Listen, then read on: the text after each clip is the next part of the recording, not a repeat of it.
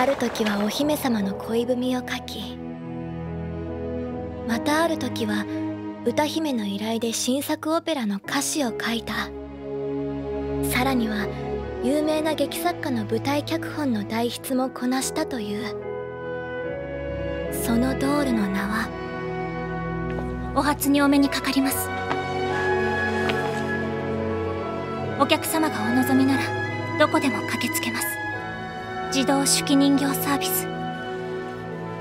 バイオレット・エヴァーガーデンです。